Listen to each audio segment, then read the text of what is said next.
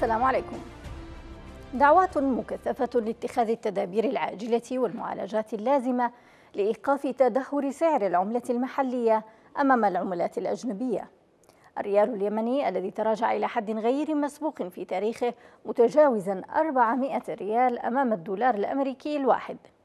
الأسباب والمحاذير والمعالجات جملة من المعطيات تحدث حولها العديد من الخبراء الاقتصاديين.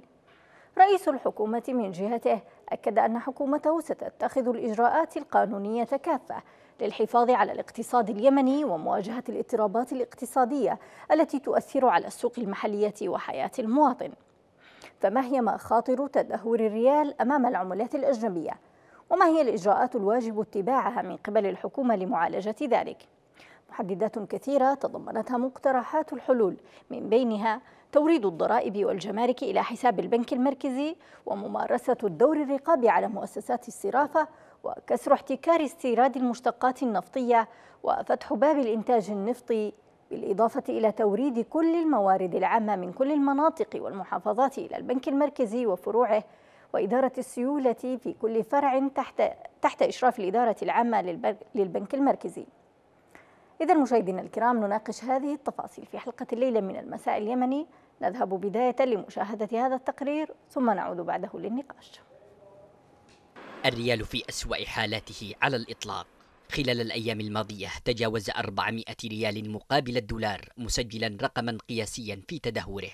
قبل أسابيع أصدر البنك المركزي في عدن قرارا بتعويم سعر الدولار حينها تم تثبيت سعر الصرف عند 370 ريالا. ولعدم فرض قرارات تنهض بالاقتصاد وتحمي العملة المحلية تدهور الريال حتى وصل إلى 400 18 شركة من ضمنهم الذكر الكريمي والتضامن والبنك التسليف الزراعي موقعين على محضر معي في التزامات جيدة. للما هناك يلتزموا وهنا يشتري عمل فوضى. رئيس الحكومة وجه قبل أيام بإغلاق جميع محلات الصرافة غير المرخصة نظرا لما تسببه من ارتفاع للطلب على الدولار وبالتالي ارتفاع سعر المضاربة فيه كون الأمر أصبح رهن العرض والطلب. في صنعاء قامت سلطات الانقلاب بعقد اجتماع لمندوبي البنوك والشركات المصرفية الكبرى بغرض وقف تدهور الريال حسب قولهم. مندوبو البنوك وتجار النفط وشركات الاتصالات التزموا في محضر الاجتماع بعدم طلب العملة الصعبة حتى نهاية شهر أكتوبر الجاري حتى لا يرتفع الطلب عليها في السوق.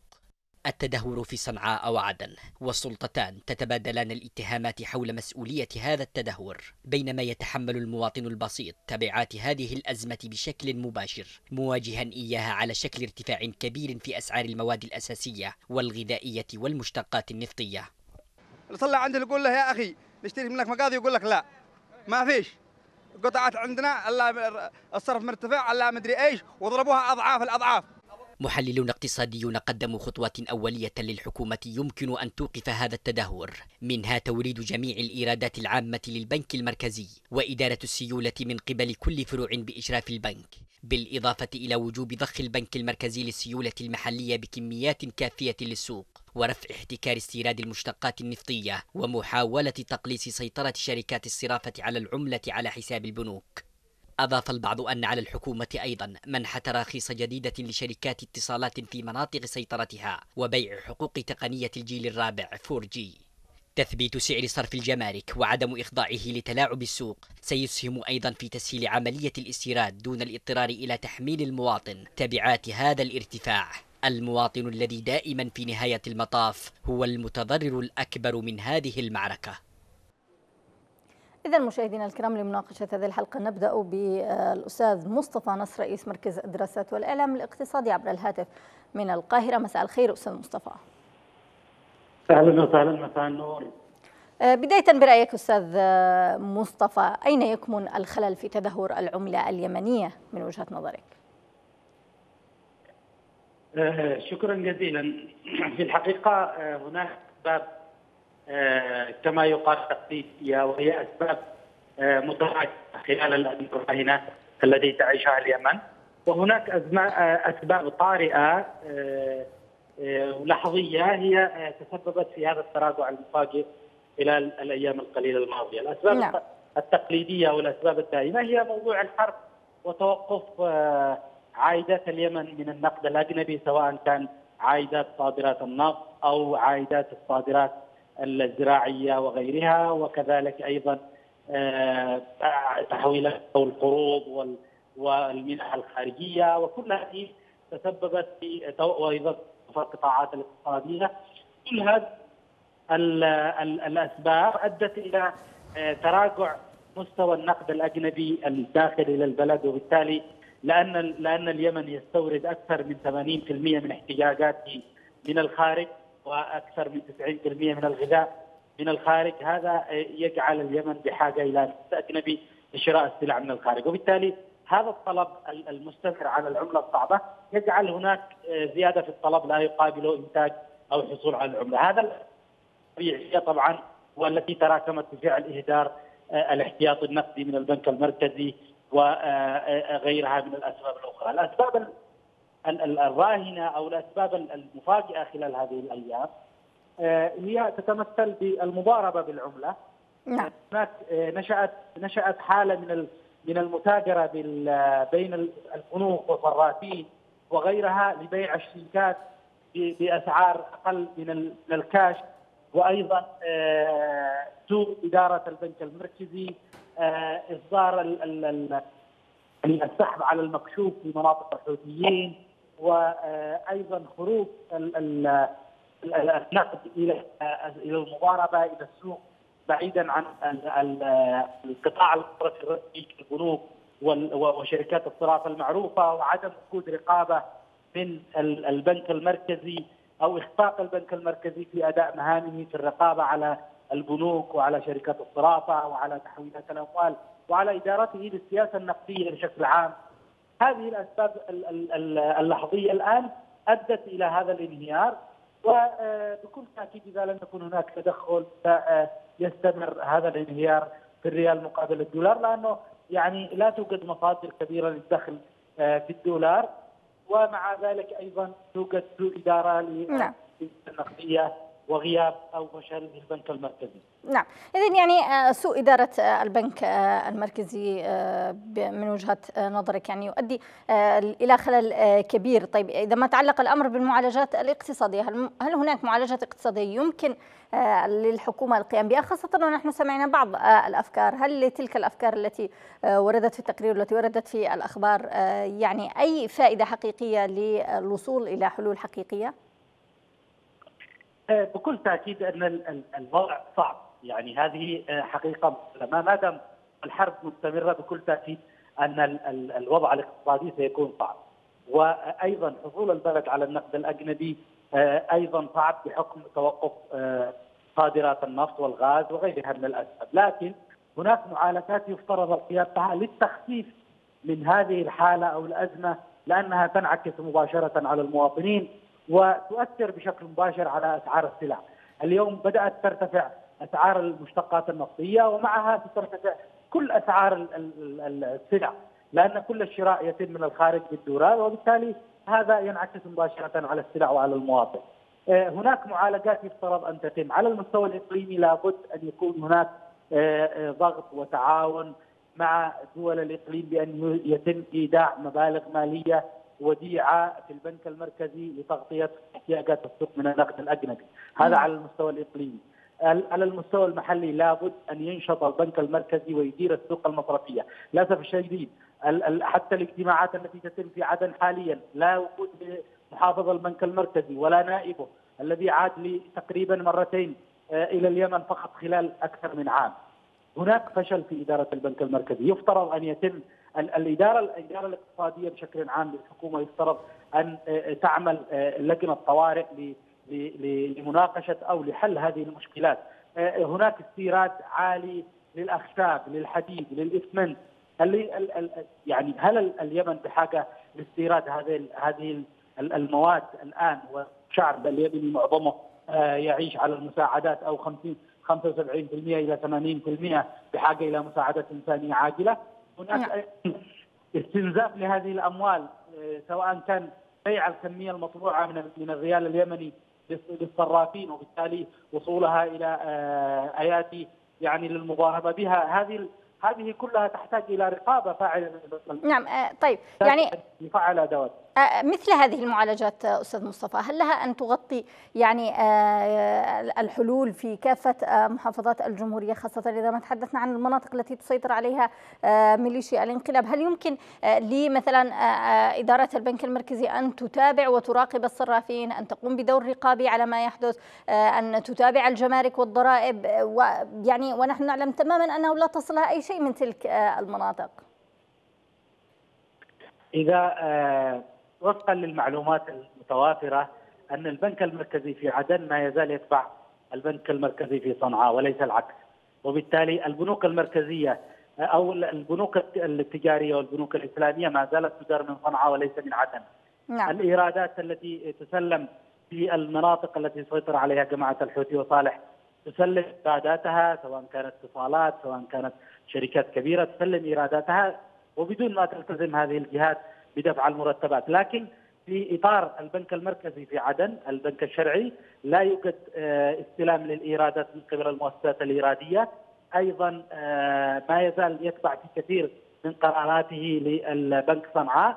وأيضا لا يشرف على أداء البنوك آه، على شركات الصرافة.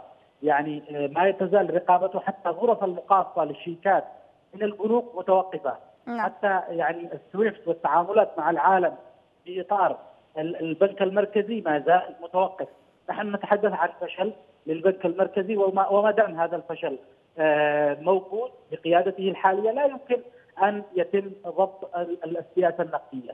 يعني صحيح أن هناك آه، إجراءات آه، سحب على المكشوف ومصادره الإيرادات وغيرها في إطار المناطق التي يسيطر عليها جماعة الحوثي وصالح لكن أيضا بالمقابل هناك آه، يعني آه، بنك مركزي يعترف به العالم لم يقم بأدنى آه، مهامه لضبط السياسة النقدية وبالتالي السيطرة. فيكون هناك صعوبة بكل تأكيد أن ينتصل قراراته وان يفرض قراراته على كل محافظات اليمن نعم. لكن عليه أن يبدأ وبالتالي يخفف من المشكلة على الأقل. لأنه حل المشكلة نهائيا أن أن أن تتوقف الحرب وأن يكون هناك بنك مركزي لليمن كلها. ويستطيع أن ينفذ قراراته على اليمن كلها وهذا على المدى القريب على الأقل آه، يعني يبدو آه، غير ممكن. نعم اذا شكرا جزيلا لك مصطفى نصر رئيس مركز الدراسات والإعلام الاقتصادي كنت معنا عبر الهاتف من القاهرة وانضم معنا أيضا عبر الهاتف الخبير الاقتصادي خالد عبد الواحد نعمان من عدن مساء الخير أستاذ خالد. كنت معنا عبر الهاتف من القاهره بداية أستاذ خالد اسمح لي أن يا الورد يا مساء أهلا بك أهلا بك. اسمعني فقط من سماعة مرحب نعم أسمعك وأتمنى عليك أن تسمعني فقط من سماعة الهاتف حتى أستمع إليك جيدا.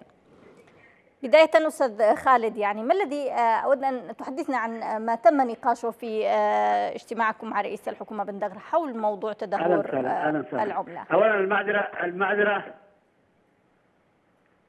لا لا أسمعك.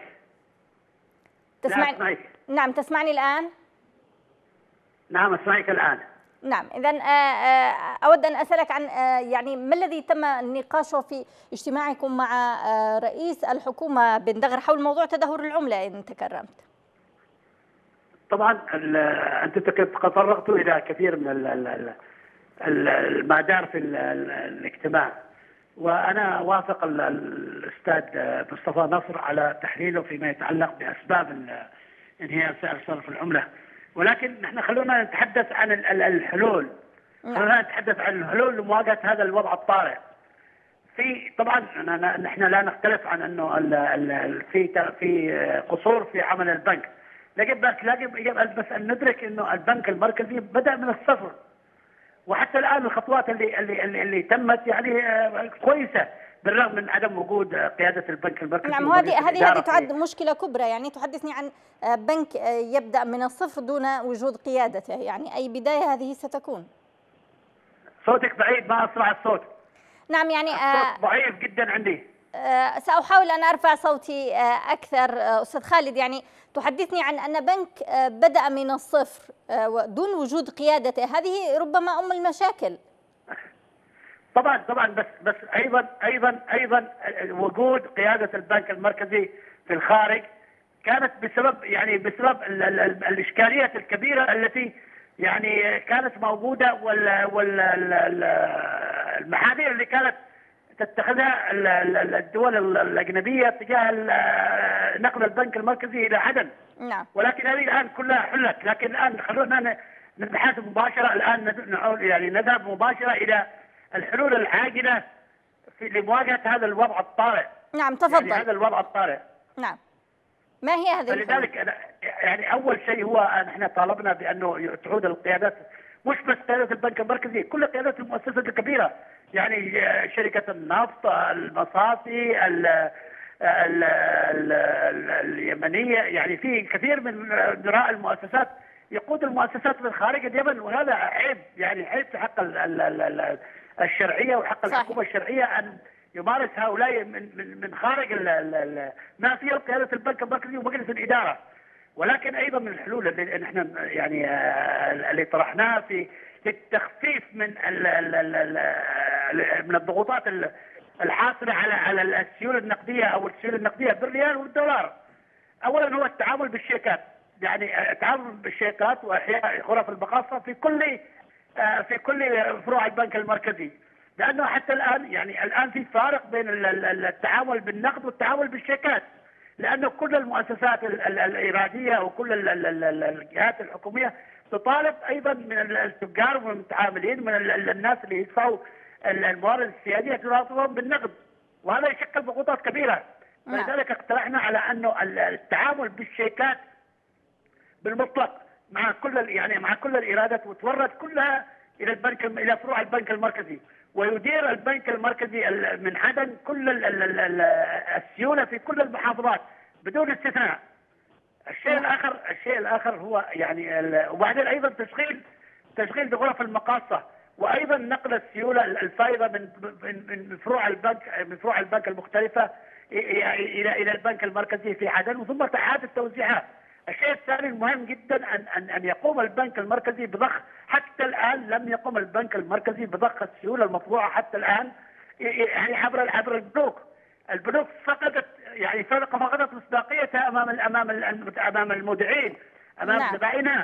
وبالتالي يعني لابد أنا يعني واحد يشتري يشتري 2 مليون ما يحصلها يشتري 200000 ما يحصلها من أي بنك من البنوك. وبالتالي فيحاول يحافظ يعني يحافظ يعني يحافظ على على أمواله في يعني آه، في بيته أو تحت الأرض أو أو يعطيها للصراصير ليأخذ عملة أجنبية.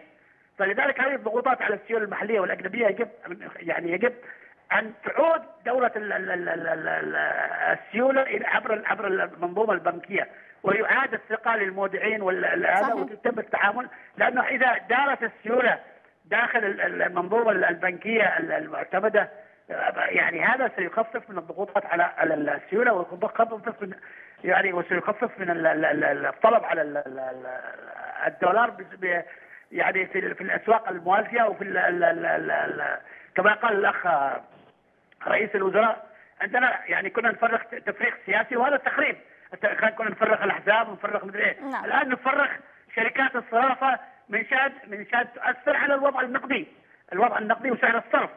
الآن في مئات الشركات اللي فتحت جديدا بدون تراخيص في كل انحاء الجمهورية اليمنية. فهذه هي الذي تضارب الآن على الدولار وأصبح الصرف بين بين يعني الصرف بين النقدي والدولار يصل إلى أكثر من 115 دولار على يعني من 115 ريال على كل دولار. نعم. الشيء من ضمن الأشياء اللي اللي اللي اللي, اللي اقترحناها يعني رفع الاحتكار المشتقات النفطية لأن المشتقات النفطية هي جزء من الاستنزاف العملة الصعبة.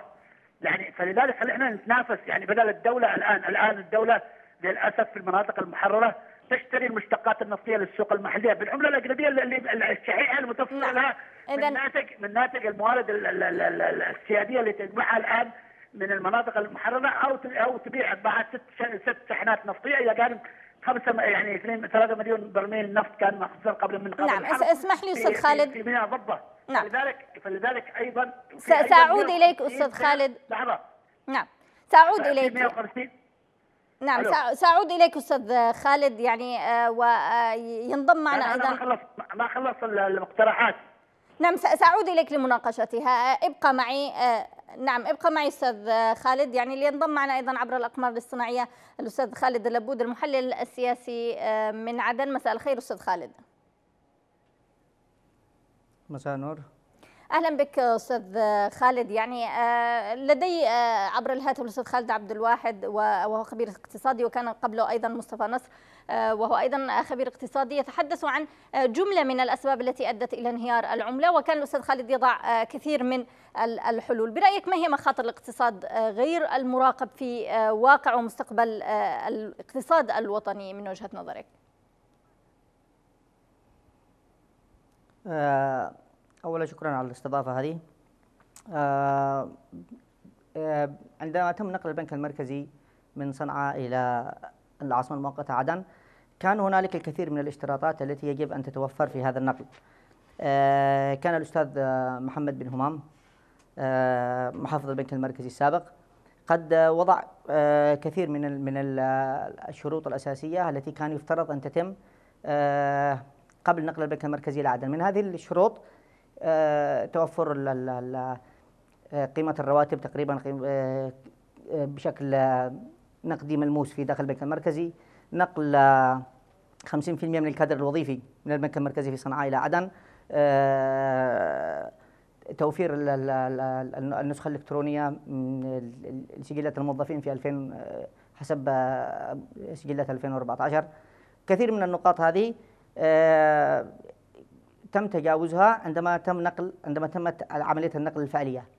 ممن ممن تم تجاوزها أستاذ خالد؟ يعني نحن نعلم أنه منذ أن نقل البنك المركزي ظلت الحكومة تطالب بتوفير البيانات مدة طويلة وربما يعني آه، آه، احتاجت إلى آه، أكثر من أشهر حتى استطاعت الحصول عليها. يعني لم تتم النقاط التي ذكرها بن همام أو الاشتراطات من الطرف الآخر غالبا يعني. بغض النظر إنها كانت من الطرف الآخر ومن الطرف هذا عندما نقول إنها اشتراطات نقل البنك المركزي معناه أنه يجب أن تحل قبل أن يتم نقل البنك المركزي نعم. وليس آه، أن يتم نقل البنك المركزي ثم يطالب بحلها. نعم. آه بدأت الخ... هذه كانت الخطوة الأولى، الخطوة الثانية كانت عندما قام البنك المركزي في عدن مع الأسف ببيع ال ال ال الاحتياط النقدي الذي كان متوفر لديه بالمزاد العلني. آه كانت هذه أولى خطوات الخطوات التي ضربت العملة المحلية العملة الوطنية. آه، عندما كان الدولار مسعر ب 250 ريال في البنك المركزي ثم يباع في مزاد علني ب 301 ريال. ويتحدث مندوب البنك المركزي بأنهم سيلزموا التاجر أو الذي الذي سيترسو عليه يرسو عليه المزاد بالبيع بسعر معين. هذا الموضوع غير منطقي. أصبحت الأموال هذه أصبحت الدولارات التي بيعت أصبحت مملوكة لهذا المركز لهذا لهذا التاجر لهذا الصراف لهذا.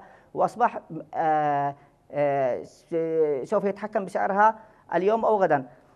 هذه كانت خطوة ثانية أيضا آه، تسببت في تدهور العملة الوطنية. آه، الخطوة الثالثة هي عدم عدم الالتزام بتفعيل البنوك التجارية. البنوك التجارية هي الوسيط بين بين بين التاجر والمواطن من جهة وبين البنك المركزي ومؤسسات الدولة. اليوم هذه البنوك التجارية كلها تقريبا معطلة. آه، آه، مرت فترة طويلة نتذكر كلنا كان كان يعاني التجار فيها من عدم إمكانية سحب أي أموال بسبب عدم وجود السيولة في البنوك.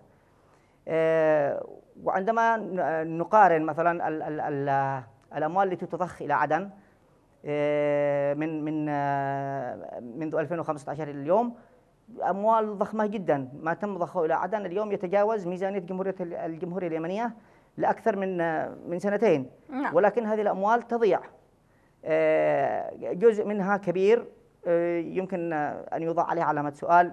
يمكن أن يتم احتسابه كأنه مال سياسي. ولكن هناك جزء كبير من هذه الأموال كانت أموال اقتصادية. كان يتم آه، إرسالها إلى البنك المركزي. كان يتم إرسالها إلى مؤسسات معينة. ونتذكر من ذلك مؤسسة العامه للمياه مؤسسة العامه للكهرباء كلها كانت تحصل على أموال من الخارج. هذه الأموال والمبالغ التي تضخ إضافة إلى إلى المبالغ التي تم طباعتها وتم توريدها إلى إلى البلد. صرف جزء كبير منها كمرتبات. آه، مع الأسف إن إن هذه المبالغ لا لا لا يحدث ما يسمى في في الأمور المالية والمحاسبية الدورة النقدية. لا تدور الأموال دورة نعم. كاملة لكي تعود إلى إلى إلى مصدرها الأول البنك المركزي. نعم هذا ما طرحه الأستاذ خالد آه عبد الواحد يعني كنوع من أو أحد الحلول المقترحة. ولكن أود أن أسألك أستاذ خالد يعني بالاجتماع الأخير للحكومة وضعت بعض الحلول وربما أنت على اطلاع بها. هذه الحلول برأيك هل يمكن أن تنقذ ما يمكن إنقاذه من العملة وتعود على الأقل يعني إلى وضعها الطبيعي. ليس الطبيعي يعني في نهاية الأمر ولكن قبل هذا الارتفاع الشديد. آه، من يستطيع أن أن أن أن يعيد الريال إلى حالته السابقة. هو من يستطيع أن أن أن يضخ الأموال الكافية في السوق لتحول الدولار من من سلعة مفقودة إلى سلعة متوفرة الذي يستطيع أن يفعل ذلك هو من يستطيع أن يحدد سعر الدولار من جديد بمبلغ آه، بسعر أقل مما مما هو عليه اليوم ويلتزم بضخ الكميات الكافية من من من العملة الصعبة إلى السوق. آه، الحكومة ممثلة بالأخ رئيس الوزراء وأيضا الأخ محافظ البنك المركزي لا يمتلكون هذه هذه القدرة. فبالتالي كل ما كل ما سيقومون به ستكون إجراءات أو آه، قرارات سياسية وسيكون تأثيرها مؤقت. في خلال اليومين الماضيين أمس نعم. واليوم انخفض سعر الدولار بمقدار 3 ريال. ولكن هذا الانخفاض مؤقت. اليوم يتم ضخ مبلغ حوالي 50 مليون ريال 50 مليار ريال إلى إلى إلى الخزينة العامة لغرض صرفه كمرتبات. ونتوقع أنه بعد أن تتم فترة معينة ويتم سحب جزء كبير من هذه المبالغ سوف يعود الدولار إلى سعره السابق سعره الأخير اللي هو 400 وكذا ريال. ومع الأسف ستكون اختفت حتى الأموال التي التي ضخت في هذه في, في هذه الفترة. السؤال الذي يجب أن يطرح هو اين تذهب الأموال التي تضخ اليوم؟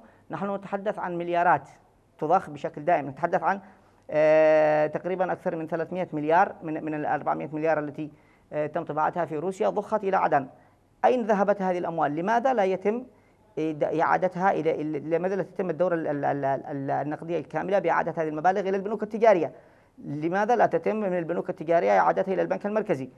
ما يحدث هو عدم تفعيل آه، سبب هذا هو عدم تفعيل البنوك التجارية من قبل البنك المركزي الذي يتحمل الجزء الأكبر من هذا. نعم. آه اليوم ال ال ال ال آه واحدة من من المعالجات التي يفترض أن تكون آه مطروحة على الطاولة هي إعادة تفعيل البنوك التجارية الضغط على المؤسسات الإرادية في توريد مبالغها وفق القوانين والنظم المعمولة سابقا وتوريدها إلى حساباتها نعم. الخاصة وليس آه، إلى إلى إلى إلى إلى حسابات فردية والعمل بشكل رئيسي وأساسي على تفعيل النظام المستندي وليس النقدي. العمل نعم. بالشيكات العمل بال نعم وهذا ما, ما تم طرحه من قبل الزملاء بدلا من الدفع النقدي. نعم آه انتهى الوقت للأسف الشديد أستاذ خالد لابد معك. آه كنت آه معنا عبر الأقمار آه الصناعية آه من آه عدن آه أعود إليك أستاذ خالد عبد الواحد. آه وكنت تحدثنا عن مجمل من آه هذه الحلول. آه اعذرني على المقاطعة وتفضل للإكمال. طيب اولا اولا اشتي أصحح اشتي أصحح حتى نكون موضوعيين في نعم، حديثنا. نعم تفضل. ونعتمد على على على الحقائق لأنه الأخ اللي كان يتكلم قبل قليل. نعم. لا توجد عنده الحقائق ويحاول أن يشكك في آه، في آه، ذمة الحكومة أو في المبالغ اللي يصرفها. شوف يا أخت الآن الحكومة جاءت إلى عدن وليس لديها أي سيولة لا سيولة محلية ولا يعني سيولة أجنبية. نعم. ولا ولا ولا أيضا احتياطات أجنبية. ما حدث هو يعني طباعة 800 مليار ما وصل منها أقل من 400 مليار ريال. هذه يعني طبعت يعني بترتيبات خاصة وصلت على دفعات حوالي أقل من 400 ولكن وأيضا إلى جانب إلى جانب إيرادات ست شحنات نفطية وثلاثة مليون برميل كانت موجودة في ميناء الضبة هذه كلها مع الإيرادات السيادية الأخرى وإيرادات الحكومة التي استطاعت ان أن تحصلها في ال ال استطاعت أن تحصلها في في المناطق المحررة. هذه كلها ضخت كلها صرفت كلها صرفت على الرواتب وبس من شأن المعرفة. رواتب القطاع المدني القطاع المدني في في الإقليم عدن من عدن ولحق وأبين والضالع هذا القطاع المدني يستهلك 16 مليار ريال رواتب شهريا. القطاع العسكري والقطاع العسكري والأمني يستهلك 41 مليار ريال شهريا. هذه فقط رواتب. بعدين الحكومة اشترى يعني تشتري يعني شهريا 45 تدفع 45 مليون دولار لشراء مشتقات نفطية فقط لمحطات الكهرباء. هذه لعدن غير ما تدفعه لمحطات الكهرباء في حضرموت. أيضا دفعت يعني دفعت مصاريف يعني أو نفقات الطلاب في الخارج كاملة يعني خلال نعم. المتأخرات السابقة. دفعت نفقات السفارات. نعم لكن نعم دعني أوضح النقطة أستاذ خالد. نعم. المعلومات اللي اللي, اللي تشكك في ذمة الحكومة أو تشكك في أنه هذه المبالغ راحت يعني سدى أو راحت كما قال في لافراد لا, لا نعم أستاذ خالد لكي يوضح وضح نقطة الضيف غير موجود لكي يدافع عن نفسه. اسمح لي أستاذ خالد. اسمح لي بالمقاطعة لكي يوضح نقطة آه، آه، الضيف. يعني ربما آه، تحدث عن نقطة أنت قلتها بداية وهو تحدث عن الأموال أو السيول التي المطبوعة وتحدث عن 300 مليار. يعني نفس الرقم التي الذي ذكرته أنت. لا لا لا والذي ذكرته أنت قلت أن أنه حتى الآن لم يتم يجب يجب شوف يعني نجب اسمح لي أستاذ خالد حتى أكمل الفكرة. اقتصاديين وكمستقلين ومراقبين يجب أن نكون يعني دقيقين في في لا لا لا لا نطلق الاستنتاجات جزافا ولا نطلق الاتهامات جزافا. نعم نعم أتفق معك ولكن أنت قلت قبل أن يكون معي أستاذ خالد إذا تكرمت نطلع نتحدث في القنوات. ونحن ليس لدينا نعم نعم أستاذ خالد وضح الفكرة فقط. اسمح لي أن أوضح الفكرة. أنت تحدثت قبل أن يظهر معي آه، المحلل السياسي. قلت بأن آه، يعني آه، أن على البنك أن يقوم بفتح السيولة المطبوعة التي لم بضخ okay. okay. okay. التي لم يضخها حتى الان وهذه نفس النقطه التي ذكرها الضيف. هذا هذا كل شيء يعني. لم يتهم أحد. نعم تفضل. خلينا نواصل نواصل الحلول. نعم وهذا هو الأجدى ربما. نعم تفضل. المقترحات اللي طرحت في اجتماع يوم أمس. نعم. طيب. هو أنا كنت ضمن يعني ضخت سيوله عبر البنوك لاستعاده الثقه المودعين.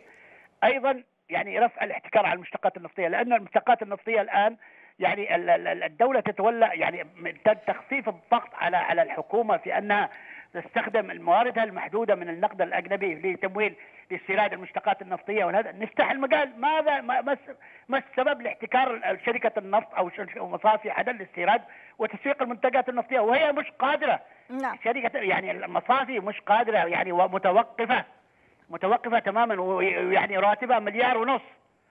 تمام؟ وشركة النفط أيضا مش قادرة أن توفر العملة الصعبة وتبيع يعني في سيولة نقدية تتوفر لديها يوميا. ليش يعتمد على على الحكومة في انها تستورد المشتقات النفطيه؟ ليش ما نخلي القطاع الخاص يستورد أيضا وينافس بحيث انه الان عندنا ازمه اليوم وامس وبكره معنا ازمه في المشتقات النفطيه في عدن وفي كل نعم. المحافظات الاخرى عدا طبعا حضرموت لماذا لا نسمح للقطاع الخاص يعني هذه النقاط ذكرتموها في الاجتماع الحيويه نعم يعني هذه النقاط ذكرتوها في الاجتماع أستاذ خالد في من انقلابيين يستوردوا يستوردوا محرر استيراد المشتقات النفطيه ولكن يرفعوا السعر السعر الآن 5000 5000 تصل إلى 10000 في المناطق الانقلابيين نعم. لكن عندنا نحن الحكومة تدفع بالعملة الصعبة بالعملة الصعبة لتوريد المشتقات النفطية للسوق المحلي وللكهرباء فهذا عبء كبير جدا. نعم ما ما ماذا كان رد الحكومة عليكم أستاذ خالد؟ وأنتم تضعون هذه الحلول؟ المشتقات النفطية إصلاح أيضا لابد من زيادة لأن الموارد الآن ما زالت محدودة، لكن في عندنا أكثر من 150 بئر معطلة، نحن لا ننتج إلا 30 ألف برميل يوميا وست شحنات فقط اللي, اللي الآن قد لكن عندنا أكثر من 150 بئر يعني واقفة، هذه لو تم إصلاحها ممكن يعني يرتفع من 30 ألف إلى 85 إلى 90 ألف برميل يوميا وبالتالي نستطيع أن نحسن من موارد الدولة. كمان كما اقترحنا أيضا لتخفيف العبء على على على المواطنين وعلى اسعار السلع لابد من تخفيض تخفيض مؤقت للسعر الجمركي للسلع اللي تدخل الموانئ نعم. لأنه يعني اذا اذا اعتمد السعر المعلن اسمح لي أستاذ خالد يعني حتى حتى استوضح منك أستاذ خالد اذا سمحت لي في الاسعار نعم جميل جميل هذه النقاط التي طرحتها آه، أستاذ خالد أنا مصرة على وضع السؤال. يعني أنت لا تريد سماعي لا أدري لماذا أو لا تسمعني جيدا. أود أن أسألك بعد هذه النقاط التي طرحتها ما الذي ردت عليكم به الحكومة خاصة في مسألة فتح التنافس مع شركات الخاصة في مسألة استيراد النفط؟ أيضا مسألة إنقاص الجمارك ولو لفترة محدودة. كل هذه النقاط التي طرحتها والتي يعني ممكن أن تكون آلية معينة لخفض سعر أو لرفع سعر الريال مقابل الدولار. يا نعم. أختي يا أختي هذه المقترحات استوعبت من قبل الحكومة واستخذ بها قرارات. البنك المركزي سيتخذ دعي تتكلمي وأنا أتكلم؟ ما يصلحش. لن يسمعنا. يا تسمحي لي تتكلم وبعدين تتكلمي.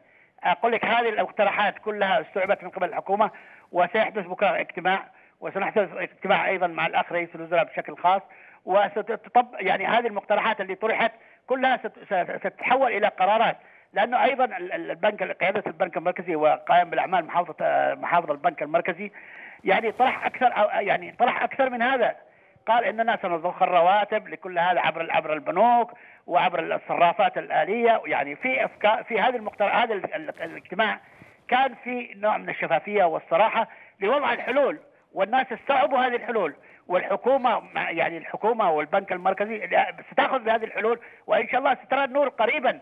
نحن في هذا الاجتماع لم نتخذ قرارات ولكن اتخذ قرار بانه قانون البنك المركزي وقانون الصرافة وقانون البنوك يجب أن تطبق يعني بشكل صارم على الجميع. وأيضا يجب أن تكون في رقابة على البنوك. أيضا إحنا اقترحنا يعني زيادة موارد للدولة عبر عبر فتح يعني فتح شركات اتصالات عبر بيع الترخيص الجيل الرابع عبر يعني مقترحات عديدة أخرى يعني لم لم نتطرق لها ولكن كل هذه عبارة عن مقترحات نوقشت يعني طرحت ستتخذها يعني ستأخذها الحكومة ستناقشها في مجلس الوزراء البنك المركزي سيأخذ ما هو في جانبه وبالتالي هذه كلها هي حلول عاجلة لمواجهة الوضع الطارئ، لكن معالجه يعني مشاكل وتحديات النظام المصرفي. هذه حلول موجودة ومصفوفات متكاملة جاهزة. قدمها القطاع الخاص فريق الاصلاحات الاقتصادية فريق رواد التنمية آه، اجتماعات اللي حدثت الغير رسمية في برلين يعني ورشة العمل بين رجال بين بين رجال الأعمال ومدراء البنوك والاكاديميين كل هذه طرحت مصفوفات متكاملة لحل المشاكل يعني تحديات النظام المصرفي يعني المنظومة المصرفية والبنكية والنقدية كلها وضعت مصفوفات كاملة. وهذه الآن شكلت لجان استشارية على أساس تقدم حلول وقرارات بحيث تتحول هذه كلها إلى قرارات تتخذها الحكومة ويتخذها البنك المركزي لمواجهة الوضع ككل. يعني الوضع يعني ليس يعني منسيا وليس مهملا. ولكن نحن أيضا في ظل حرب يعني ما زال البعد الاقتصادي أو العمل الاقتصادي ما زال يعني آه، ينافس أو يعني يتعارض مع العمل العسكري اولا يجب نحن ان نحسم العمل العسكري يعني وتوقف الحرب ثم نعالج كل مشاكلنا الاقتصاديه حلقه بحلقه حلقه بحلقه المقترحات موجوده المصفوفات جاهزه ولكن يجب أن توقف الحرب الآن نعم. ويتفرغ الناس لمعالجة نعم قد نسأل يا أستاذ التحديات الاقتصادية ومعالجة إعادة الإعمار. هذا اعاده الإعمار تحتاج إلى 96 مليار 96 مليار حسب تقديرات البنك الدولي. إحنا بحاجة ل 96 مليار لإعادة ما دمر في داخل اليمن. فلذلك هذه التحديات كلها معروفة. هذه التحديات يعني مصفوفاتها جاهزة المقترحات أفكار جاهزة. من كل الناس الخيرين ومن كل نعم اذا أستاذ خالد اذا سمحت لي فلذلك آه، يعني يجب اولا ان تتوقف اله الحرب ثم نتفرغ نعم. لإعادة وضحت الصورة نعم ال ال ال ال اليمن اليمن اليمن غني جدا بالخبرات بالخيرات والخبرات والافكار التي تستطيع ان تنتشر اليمن اليمن اليمن ليس كغيره من من البلدان اليمن كان يمن سعيد وسيصبح سعيد إن شاء نعم. الله. اذا إذا سمحت لي أستاذ يعني خالد. نعم نعم. الحوار الوطني. حتى حتى أستغل وجودك معي أستاذ خالد. يعني ما شاء الله عليك ما لم تتح لي أي فرصة لوضع أي سؤال. أود أن أسألك هذه الحلول التي آه، طرحتوها ألن يعني تعتبر حلول آه، آنية ربما قد يعني تعاود هذه المشكلة بالظهور مجددا. يعني مسألة أعلم أن الحرب إيقاف الحرب ربما هي الحل الأجدى لكل هذه المشاكل ولكن للأسف الشديد مسألة إيقاف الحرب ليست بيد الحكومة وحدها. السؤال يعني لما تنتظر الحكومة وقوع كل هذه المشاكل لاتخاذ تدابير عاجلة؟ ألا يوجد هناك حلول عاجلة وفي نفس الوقت طويلة الأمد لوضع كل هذا الخلل الحاصل؟ شوفي يا, يا, يا, يا أخت أولا من شأن وقف الحرب وقف التدخلات الأجنبية. لا خلصي. أنا أشوفك تتكلمي. يعني من شأن وقف الحرب يجب يعني تحييد العنصر الخارجي. العنصر الخارجي هو اللي هو اللي هو اللي يعني نحن في اليمن نتحارب يعني الحرب في اليمن هي نيابة عن الآخرين. فلو تركونا نحل مشاكلنا داخليا نحن كيمنيين. والله العظيم يعني يعني في أقرب فرصة ممكن نوقف الحرب. لكن نحن نشتغل يعني في يعني فرق الفرق المتصارعة كلها تشتغل نيابة عن الآخرين. فلذلك أنا أقول لك إنه الحلول العاجلة والحلول المتوسطه يعني المتوسطه يعني قصيرة المدى أو الحلول المتوسطة أو الحلول الاستراتيجية الطويلة المدى كلها موجودة ومدروسة من قبل كل كما قلت لك كل المستويات يعني من اقتصاديين من رجال مال من خبراء من يعني كلها مدروسة وجاهزة جاهزة. وبرنامج التعافي موجود وبرنامج إعادة الإعمار موجود. ولكن نحتاج إلى إلى إلى إلى وقف تدخلات أنت لو تشوفي ما يحدث في عدن ما يحدث في المناطق المحررة المحررة؟ نعم. يعني آه يعني يشيب لها الولدان من تدخلات في السيادة متدخلات في السيادة. الحكومة الشرعية لا تستطيع أن تتحكم في في المطار لا تتحكم في الموانئ لا تتحكم في يعني حتى الدفعة الأخيرة اللي جت 70 مليار في تحقيق كيف جزعت هذه المليار بدون بدون معرفة التحالف. يعني إلى هذا الحد وصلنا. هذه ال 70 مليار جت عبر البحر. ها يقول لك كيف جت هذا بدون معرفتنا ما جاتش عبر الجو ما جاتش عبر مدري إيه. فلذلك إحنا يعني يجب الحد من تدخلات تعال الناس تساعدنا إحنا في إنهاء الانقلاب. it's okay لكن لا تتدخل في سيادتنا وفي قراراتنا السياسية. شكرا. نعم. اذا شكرا جزيلا لك أستاذ خالد وأنا أنا أعتذر اولا عن ان أنا كنت مظهور يعني مفترض إنه ادخل أظهر في نعم على الهواء معكم ولكن صحيح. للأسف انقطعت الكهرباء عني آه وأنا أتكلم مع عدن الغد. نعم عذرك مقبول وما شاء الله عليك يعني كفيت وفيت عبر الهاتف. نعم شكرا جزيلا لك أستاذ خالد عبد الواحد نعمان الخبير الاقتصادي. كنت معنا عبر الهاتف من عدن. أشكر لكم أيضا مشاهدينا الكرام لحسن متابعتكم إلى أن نلتقيكم في مساء من جديد. كونوا برعاية الله وأمنه.